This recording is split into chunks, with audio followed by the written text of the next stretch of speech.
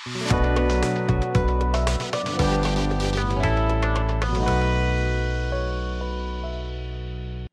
Factory ఛానల్ని మొదటిసారిగా చూసినట్లయితే సబ్స్క్రైబ్ చేయండి. అలాగే సబ్స్క్రైబ్ ఆప్షన్ పక్కన బెల్ ఐకాన్ ఉంటుంది అది క్లిక్ చేయండి. మేము ఎప్పుడు వీడియో రిలీజ్ చేసినా మీకు నోటిఫికేషన్ రూపంలో అందుతుంది. మనం ఏ పని మొదలు పెట్టాలన్నా మొదలు పెట్టిన పని సకాలంలో పూర్తవ్వాలన్నా ముందుగా వినాయకుడిని పూజిస్తూ ఉంటాం. అదేవిధంగా మన ఇంట్లో వ్యాపార స్థలంలో ఉద్యోగ స్థలంలో వినాయక చిత్రపటాలను ఉంచుకుంటాం. మరి ఎక్కడ ఏ విధంగా ఎటువంటి వినాయక చిత్రపటాలను ఉంచితే మనకు శుభం కలుగుతుందో తెలుసుకుందాం. అన్ని రకాలైన వాస్తు దోషాలు తొలగిపోవాలంటే స్వస్తిక్ గుర్తు ఉన్న వినాయక చిత్రపటాన్ని ఇంట్లో ఉంచుకోవాలి.